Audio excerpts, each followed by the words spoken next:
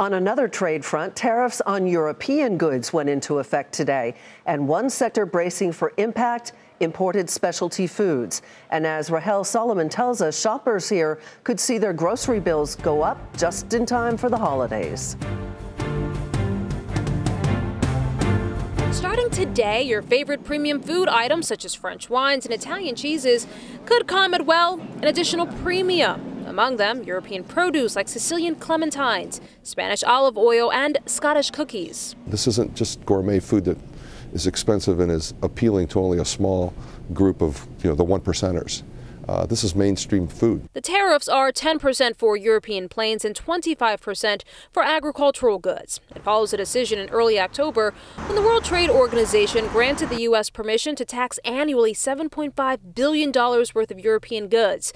This is after it found that the European Union had provided illegal subsidies to European plane maker Airbus.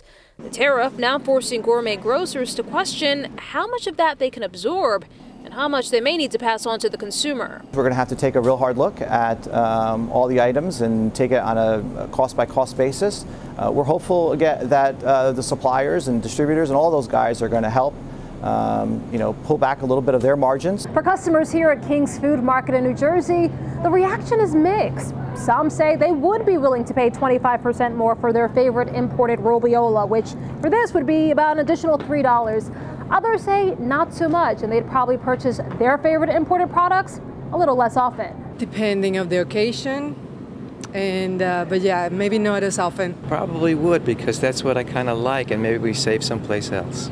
I probably would pay a little more, but not a lot more. In a statement, U.S. Trade Representative Robert Lighthizer said, For years, Europe has been providing massive subsidies to Airbus that have seriously injured the U.S. aerospace industry and our workers. Later adding, we expect to enter into negotiations with the European Union aimed at resolving this issue in a way that will benefit American workers. But until such agreement is reached, the tariffs are likely to remain. For its part, Airbus claims the U.S. also provides subsidies to Boeing.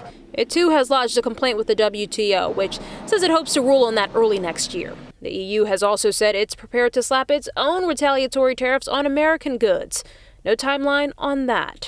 For Nightly Business Report, I'm Rahel Solomon in Cresskill, New Jersey.